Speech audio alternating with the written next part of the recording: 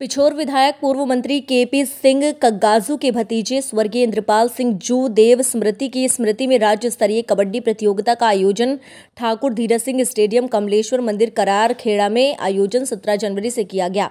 Kabaddi coach Raman पुरोहित ने बताया कि इस प्रतियोगिता में लोकल ग्रामीण क्षेत्रों की लगभग 40 टीमों ने भाग लिया, जिनमें 18 जनवरी को राज्य स्तरीय कबड्डी के मुकाबले हुए, जिसमें ग्वालियर, चंबल की टीमों ने भाग लिया।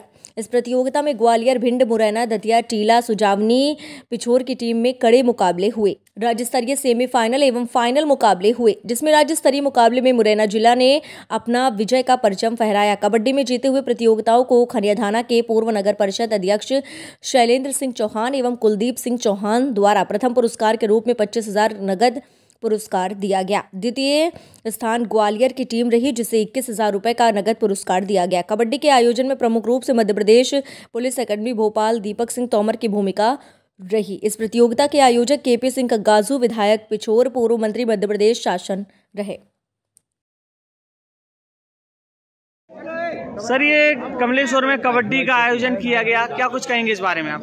इसमें इस कबड्डी का आयोजन हमारे माननीय विधायक श्री के पी सिंह कक्काजू के द्वारा उनके जो भतीजे हैं स्वर्गीय इंद्रपाल सिंह जूदेव स्मृति में यह कबड्डी प्रतियोगिता का आयोजन होता है जिसमें आज फाइनल में मुरैना विजेता रही और उप विजेता के रूप में ग्वालियर रही है जिसमें पच्चीस हज़ार का नगद पुरस्कार स्वरूप प्रदान किया गया। ये आयोजन कब से चल रहा है? यह आयोजन पिछले दस वर्षों से चल रहा है और कुश्ती प्रतियोगिता जो होती थी उसका आयोजन पिछले 40 वर्षों से हो रहा है।